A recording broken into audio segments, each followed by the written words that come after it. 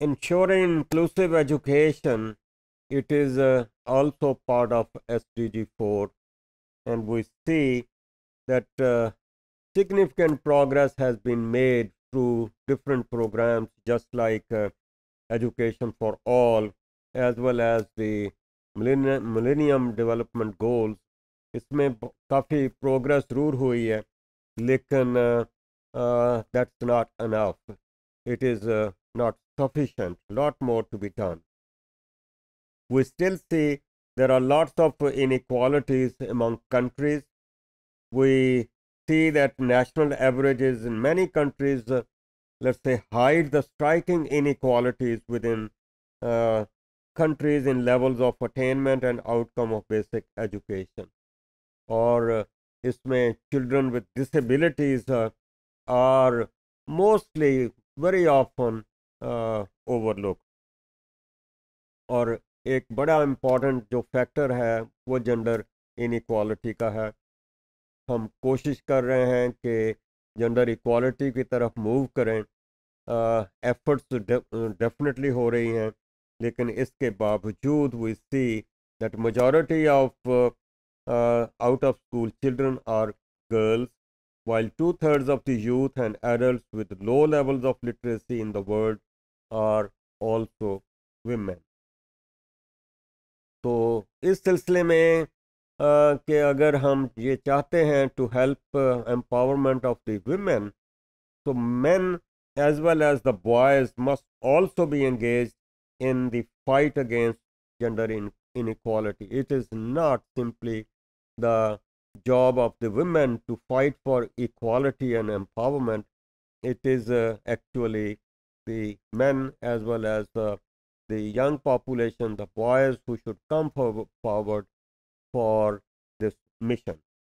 So, traditional factors of marginalization in education, such as gender, urban or rural residence, uh, continue to combine with income language, minority status, and disability to create mutually reinforcing disadvantages, particularly in low income or conflict affected countries. तो एक factor नहीं है जब ये combine हो जाते हैं तो इसका एक cumulative interaction as well as cumulative effect भी हमें नज़र आ रहा है तो जहाँ हम ये समझते हैं कि education has the potential to equalize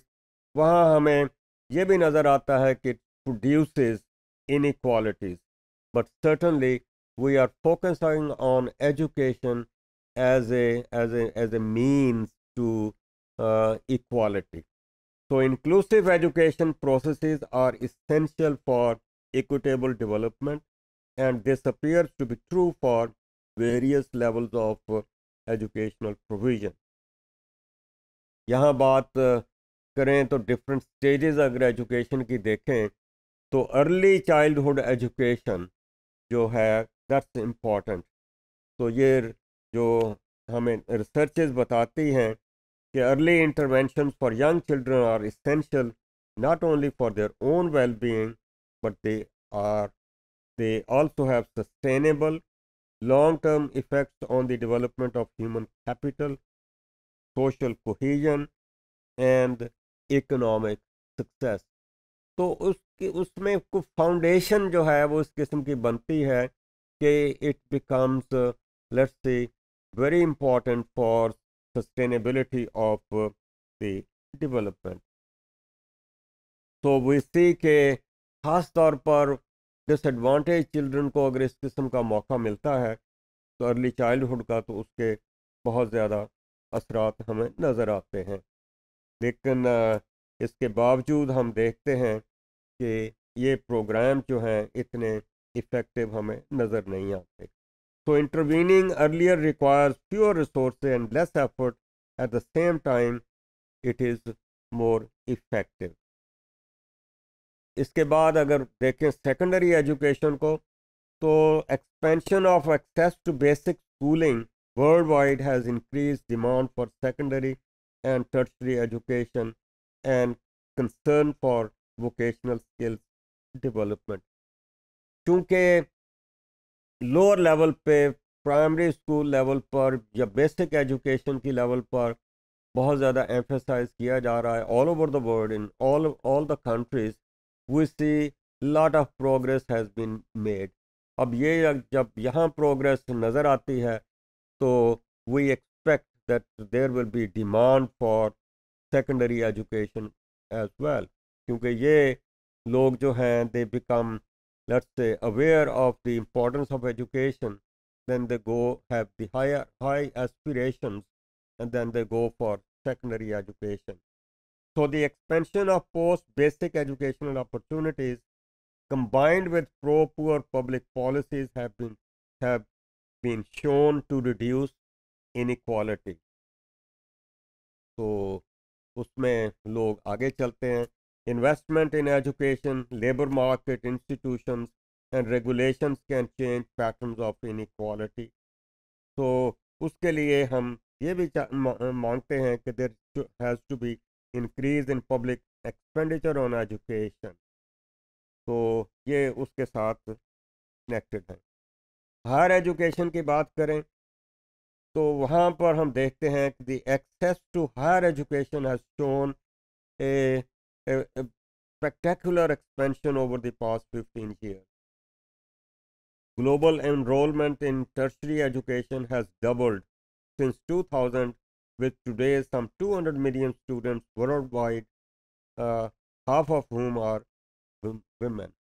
So इसमें बहुत ज़्यादा एक्सपेंशन हुई है बेसिक uh, एजुकेशन में भी हुई है लेकिन आगे भी हुई है However, we see that there are lots of uh, disparities और ये disparities किसके बेस पे आ रही हैं इनकम के बेसिस पे आ रही हैं और उसके साथ ही आ, दूसरी चीज़ें एथनिसिटी आ, आ, आ सकती है अदर डिस्क्रिमिनेशन आ सकती है so we also see that there is a lot of uh, social marginal, marginalization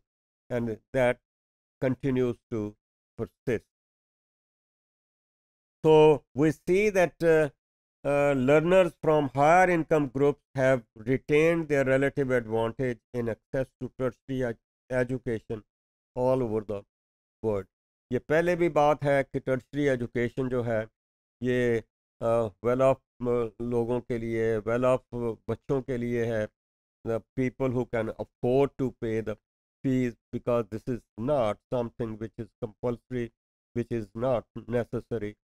may be considered as a luxury. So therefore, those who can afford, they might go over there. So we see that in, even in countries with high enrollment rates, the participation of minorities continue to lag behind the national average in these, uh, uh, let's say, tertiary education, जिसमें आप university level की education की